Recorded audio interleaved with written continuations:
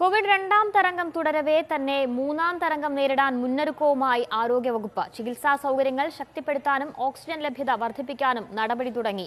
മൂന്നാം തരംഗത്തിന് മുൻപ് എല്ലാവർക്കും വാക്സിൻ നൽകുകയാണ് ലക്ഷ്യമെന്ന് ആരോഗ്യമന്ത്രി വീണ ജോർജ് പറഞ്ഞു.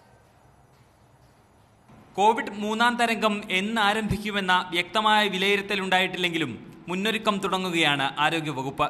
തേർഡ് വേവ് ഉണ്ടാകാനുള്ള പല കാരണങ്ങളുണ്ട്. വാക്സിൻ ലഭിക്കാത്ത ജന ആളുകൾ വിഭാഗങ്ങളെ ആയിരിക്കാം ഒരു പക്ഷേ തേർഡ് വേവിൽ കൂടുതൽ അവർക്കായിരിക്കും രോഗബാധ ഉണ്ടാകുന്നത് എന്ന് മുന്നിൽ കണ്ടുകൊണ്ട് ഇത് സംബന്ധിച്ചിട്ടുള്ള ഒരു റിപ്പോർട്ട് തയ്യാറാക്കിയിട്ടുണ്ട്. കുട്ടികളിൽ രോഗവ്യാപനം വർദ്ധിച്ചേക്കാമെന്ന മുന്നറിയിപ്പിന്റെ പശ്ചാത്തലത്തിൽ ശിശുരോഗ ഐ സിയുകളടക്കം സജ്ജമാക്കി ആശുപത്രികൾ ശക്തിപ്പെടുത്തും. എല്ലാവിധ സാഹചര്യങ്ങളെയും നേരിടുന്നതിന് വേണ്ടിയിട്ടുള്ള അതുപോലെ കൂടുതലായിട്ടുള്ള ഓക്സിജൻ പ്ലാന്റുകൾ ഓക്സിജൻ അവൈലബിലിറ്റി ഉറപ്പാക്കുന്നു.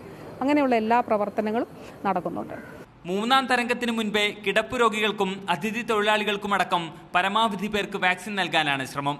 നാൽപ്പത് കഴിഞ്ഞവരുടെ വാക്സിനേഷൻ അടുത്ത മാസം പകുതിയോടെ പൂർത്തിയാക്കാനാണ് ലക്ഷ്യമിടുന്നത്.